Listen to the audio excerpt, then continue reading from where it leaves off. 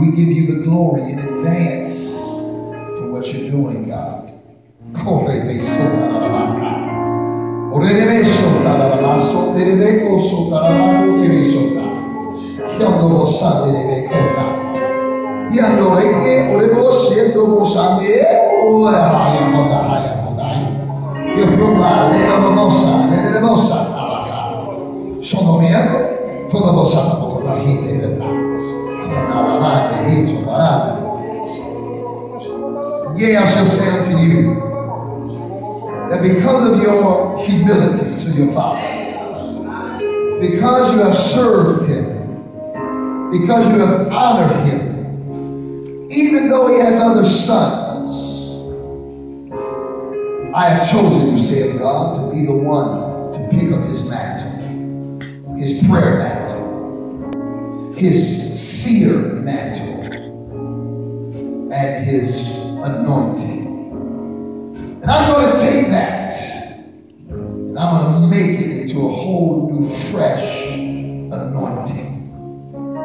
This anointing will be your coat that I'm putting them together for you. As you serve your Father, so shall I raise you up to serve your man God. And as you serve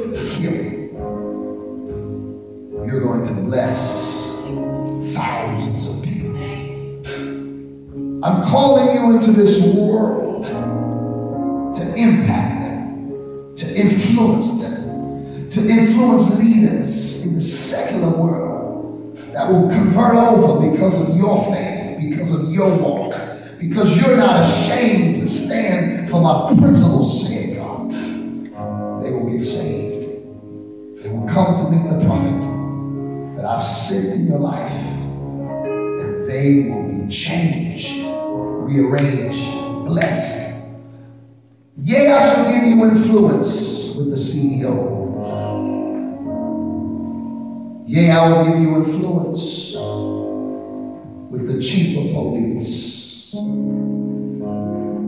For you will be my voice to them to get them to the prophet. Their lives will change.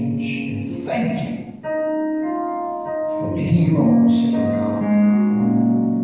You will never lack another day in your life. By this time next year, your bank account, savings account, and your personal accounts will have double supernaturally, said God. Your Father